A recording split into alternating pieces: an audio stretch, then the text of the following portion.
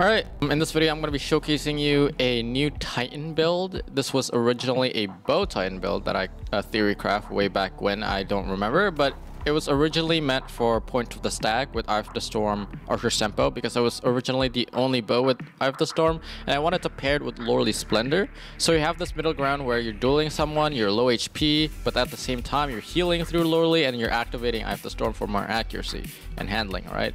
So um, ideally, with the new version, you kind of want a solar weapon with Eye of the Storm.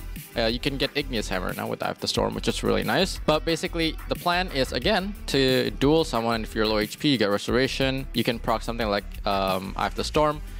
And you can extend the duration of Restoration through Ember of Empyrean. Now, this is just an example because I needed the Resilience, but you can also swap Ember of Mercy with like Ember of Torches if you want Radiant through your melee. Um, I'm also pairing this with the Conditional Finality. And the reason for that is that because it is both a stasis and solar weapon, the way it works is that when you shoot the first shot, you can see at the bottom left of my screen here, it will immediately turn into a solar weapon. So for example, if I have restoration, right, it's on for another 5 seconds, I get a kill. And as you can see there, even though that's the stasis final blow, it extends the restoration because the weapon is now solar.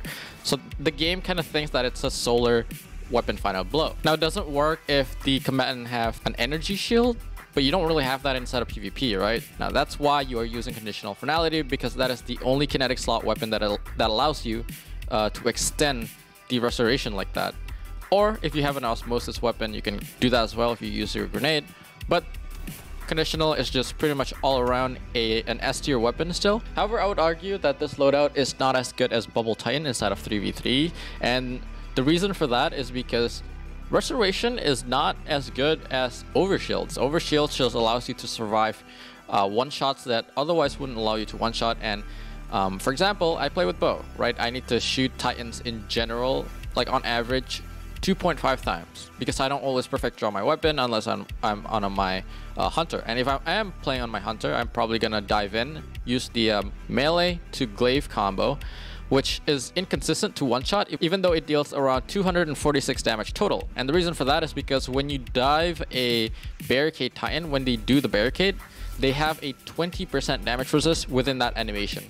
So any type of dive build that uh, a bow has is pretty much nullified by the overshield that a titan has. So if you want to fight titans with bows, I'd recommend not playing a bow because they do have snipers instead, which leads us to this build which is really good inside of sixes. I tested it inside of control and I don't know when I'm gonna cut in the video, but you can also use this build inside of checkmate since you are using a 120 hand cannon and a conditional finality. You're pretty much just playing the game normally compared to everybody else. And on top of that, you get your barricade and restoration, which are two of the most powerful effects inside of checkmate because they do have a slower TTK and you do have healing.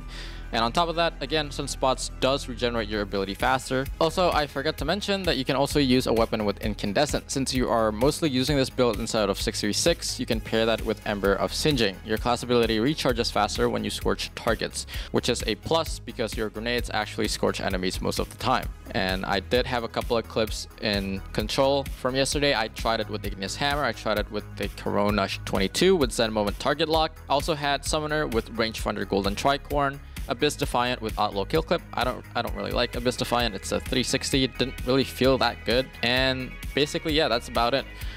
We... Wait, what the fuck is all this? Smithing templates? Yeah, mostly. Damn. You can't even see him because of your shitty texture pack. I could take it. I could always just take them. What? What? Wait, pottery? I don't know what the fuck this oh, pottery wow. thing is part of the new desert shit. Oh, we gotta uh, find one first. Yeah. um, that's that's what the sniffer, by the way. Which... Uh, a, a, Minecraft for gold, and we play it. Do it one more time. Here, actually, I'm gonna go up there. I don't know why. we gotta build a. Yeah, if we get if we have enough people. Uh, I'm breaking. I'm done. Also, I want a. Uh... Yeah. But I don't have to release right now. Yay. So this is yours. And then this is done. Good. Nah. That's just like the easiest rating again. Don't even worry about it.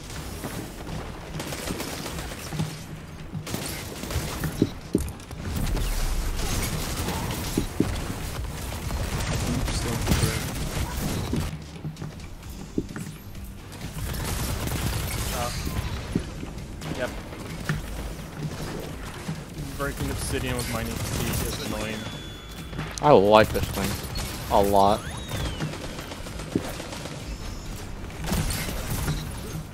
Uh, horror stories? Yeah, isn't bad. I'm gonna start plugging the controller back in and I'm gonna fail. My That's what I'm moving gonna do. target. Moving target. Let's go. So yeah, if you guys want to know the build, here you go. I'm using Burning Maul. Uh, Burning Maul is actually pretty good, surprisingly, and I also have a faster cooldown compared to Hammer of Sol. Rally Barricade because it has a way faster cooldown than Towering Barricade, and the reason you don't use Towering is because, again, in 3v3s, you probably don't want to use this loadout still. I don't know, I haven't tested it in 3v3s because Trials is out tomorrow. I'm probably gonna test it out then if I do feel like playing on a Titan. Inside of three, uh, inside of sixes, you don't need your barricade to peak sniper lanes. You don't need your barricade to um, resurrect your teammate. So you pretty much only want to use it as a fodder for your restoration effect.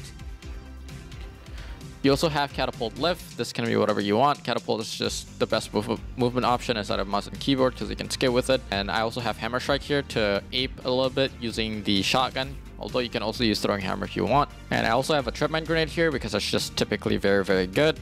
Um, for the aspects here, the most important one here is Sol Invictus. You can use Roaring Flame or Consecration for the other one, but I don't really like Consecration because it doesn't allow you to do this, right?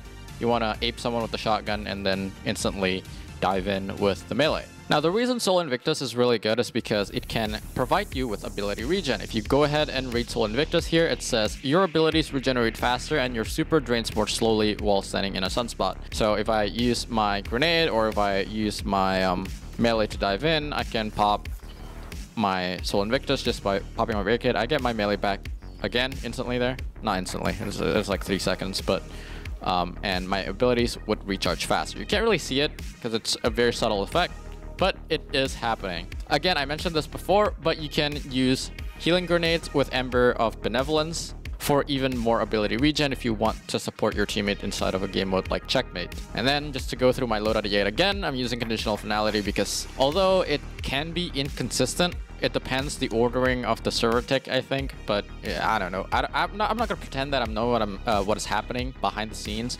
But this can allow you to extend restoration, and on top of that, it is just typically a good weapon. Igneous Hammer, again, typically a good weapon. Although this auto rifle, this is a world drop, unfortunately. But if you do get this roll, it is really really good. Zen moment.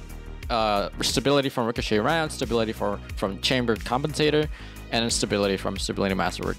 Um, ideally, I would like more range from this thing, but you know, beggars can't be choosers when it comes to world drop weapons. Um, target lock, really, really good. I don't know if it's just target lock, but anyways, this auto rifle just feels insanely good. And almost forgot, I'm also using double kickstart mods for utility kickstart, and that's because if you do proc um, the Sol Invictus there, or not Sol, Loreley, it actually works, right? Because your class ability is fully depleted.